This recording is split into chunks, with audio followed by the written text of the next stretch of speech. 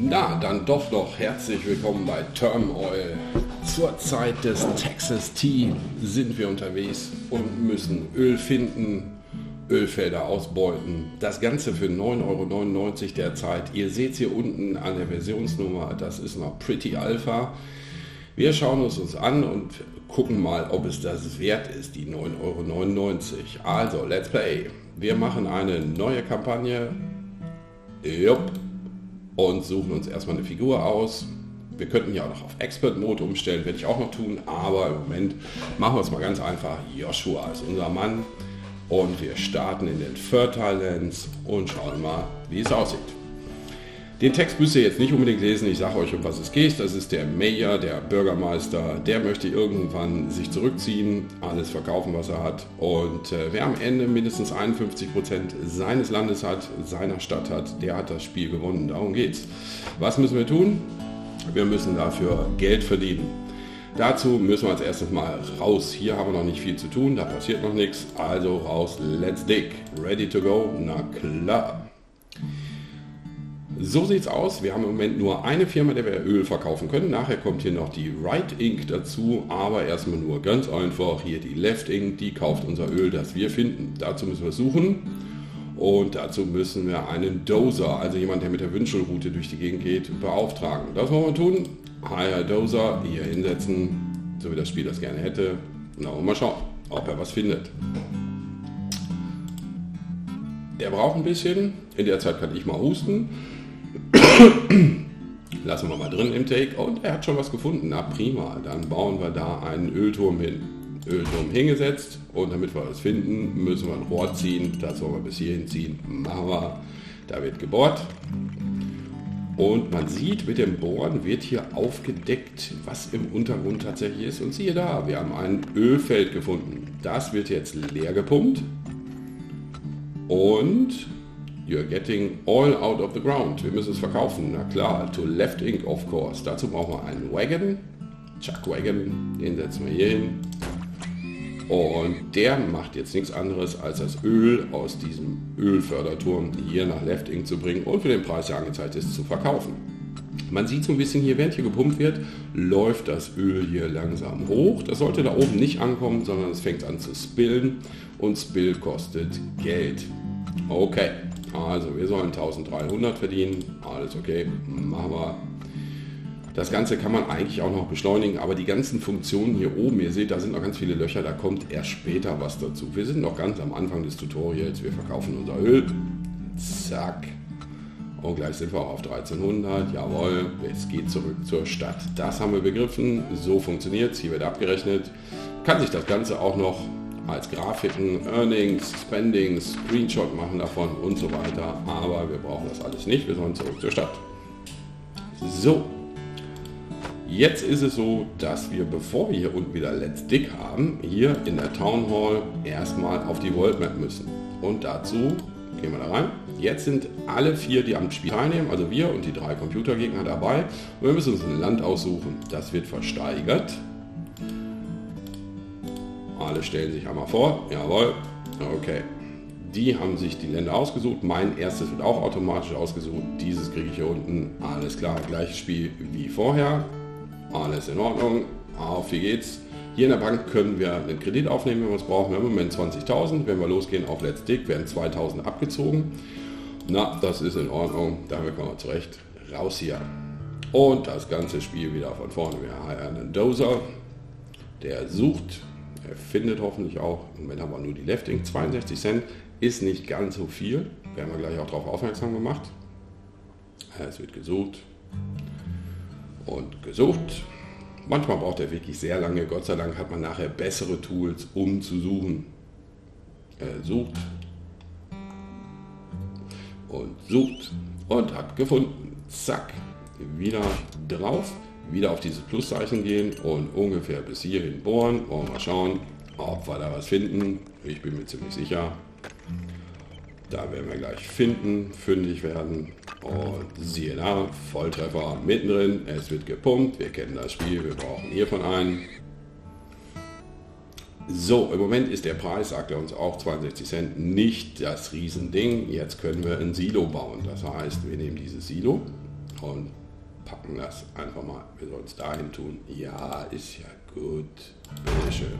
250 werden uns abgezogen. Der Preis variiert hier sehr heftig, deswegen sollten wir immer gucken, ob wir ins Silo bringen oder ob wir direkt verkaufen oder aus dem Silo verkaufen. Wir gucken mal, hier wird mit gepumpt. Zack. Solange wir nämlich hier keinen einstellen, solange wir hier nicht auf 1 gehen, bringt unser Wagon immer das Ganze hier in unser Silo. Das Spiel endet hier 31. März. Wir haben den 1. Januar. Bis dahin haben wir Zeit, Geld zu verdienen. Im Moment fährt der jetzt eher mal schön zwischen Ölturm und Silo hin und her und speichert das Öl zwischen. Wir sehen, der Preis bewegt sich hier wirklich tatsächlich. Am Anfang sind 80, 85 Cent sind ganz gut. Ein bisschen Geld braucht man, um nachher einfach auch ein bisschen mehr zu bauen. Jetzt wird es interessant. Zack. Und wir nehmen noch einen Chuck Wagon dazu die beiden, jetzt fährt einer davon immer zwischen den beiden Dingern hier rüber. Ich setze den zweiten auch da drauf, das heißt also zwei verkaufen. Man sieht, der Preis steigt hier ordentlich. Das finde ich spaßig. Da baue ich gleich noch ein Oil denn ich kann auch mit mehreren das Ganze hier anknacken. Mache ich doch glatt. Zweite da hinsetzen, nehme ich direkt noch einen Wagon dazu. Ich habe das Geld ja. Und wie ihr seht, hier wird gerade fleißig gepumpt, aus dem Silo geholt, und ich muss noch den dritten Wagen zuteilen, das heißt, die fahren jetzt hier alle schön brav hin und her zwischen den Ölquellen und dem Silo und bringen das Öl weg. Jetzt fällt der Preis hier wieder. Ihr wisst, was das bedeutet. Wir müssen zwischenspeichern. Das heißt, irgendwann gleich bei 80 hören wir auf und bringen das Ganze einfach nur ins Silo. Na, ein bisschen geht noch. Preis hält sich einigermaßen.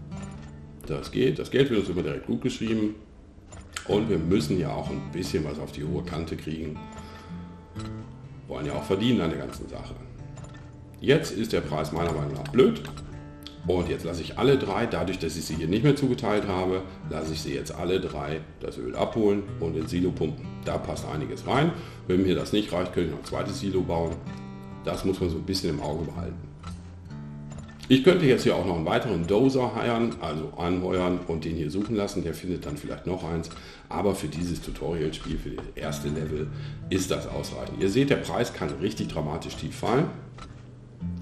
Und das macht überhaupt keinen Sinn, da irgendwas zu verkaufen. Wir müssen allerdings jetzt das Datum hier im Auge behalten. 31. März ist Schluss. Nur, was wir bis dahin verkauft haben, geht hier oben drauf. Ansonsten ist egal, wie viel Öl man sonst noch hat das ist weg. Der Preis ist wieder besser. Ich packe auch noch einen Wagon dazu.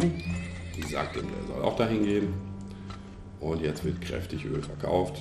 Ich hoffe, das reicht. Oh, ich nehme sogar noch einen Wagon. Das zahlt sich aus. Und dann läuft das Ganze hier in Ruhe durch.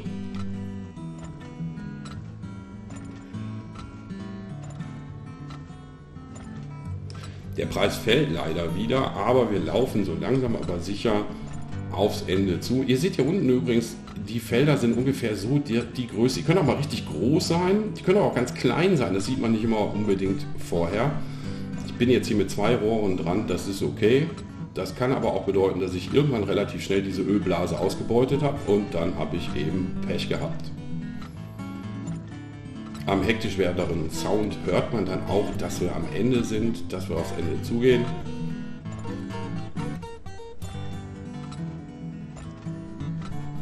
Ich mache mal kurz Pause, um zu erklären, was sonst noch passieren kann. Also, es ist so, dass man hier die Silos noch ausbauen kann. Man kann die Rohre dicker machen, dass die doppelte Menge gefördert wird. Man kann nachher diese Wagon ausbauen, dass die mehr transportieren können, schneller transportieren können. Man kriegt hier auf die rechte Seite auch noch eine Ink hin, also die Right Ink. Da muss man immer gucken, wo schicke ich die Wagen gerade hin oder schicke ich die nirgendwo hin und nur ins Silo. Da muss man ein bisschen managen. Alles in allem eigentlich ein tolles Spiel. Es wird nur leider repetitiv. Es kommen noch einige Ausbauten dazu. Man kann sich das hier unten mit einem Scanner nachher angucken oder man kann einen Maulwurf runterschicken, der gefundene Diamanten holt und so weiter. Am Ende geht es einfach nur darum, so viel wie möglich Kohle zu verdienen und die Kohle dann nachher umzusetzen beim Mayor, beim Bürgermeister und dem seine Anteile am Land, an der Stadt abzukaufen und mindestens 51 Prozent zu bekommen. Wenn man das erreicht, wenn man mindestens 51 Prozent hat, hat man dieses Spiel gewonnen. Es ist toll, es macht Spaß. Also es ist nicht so, dass ihr das äh, jetzt denken solltet, ich möchte euch smartig machen. Es ist nur 10 Euro, ist glaube ich echt noch ein bisschen, ich weiß nicht, was noch kommt, was noch reingepackt wird. Es ist ja nur eine Alpha. Ähm, von daher hoffe ich mal, dass wirklich noch was dazu kommt. Ich habe einige Stunden investiert, ich glaube 8 oder 9 Stunden habe ich gebraucht, bis ich es komplett durch hatte. Aber ich gebe zu, die letzten drei bis vier Stunden waren dann, dann auch so, ich möchte das Ende sehen, aber ich so wirklich nochmal und nochmal und nochmal. Es kommt noch Erdgas dazu, was einem beim Fördern hilft und so weiter. Es gibt wirklich noch eine ganze Menge. Hier oben passiert noch einiges. In der Stadt kann man einige Gimmicks dazu kaufen. Man kann eine Pipeline direkt legen zu den Inks und so weiter. Also es gibt schon einiges zu sehen. Das ist die Hauptspielmechanik, die habt ihr jetzt gesehen und ich denke, das soll für heute Abend dann reichen. Wir haben in Terminal reingeguckt, derzeitiger Preis 9,99 Euro. Sollte es euch für, ich sag mal, um die 5, 6, 7 Euro vielleicht unterkommen, das lohnt sich auf jeden Fall, dann sollte man es mitnehmen. Wie gesagt, es ist Alpha, es macht Spaß. Es gab schon einiges an Updates, also von daher vielleicht einfach mal reingucken. Okay, zurück ins Studio.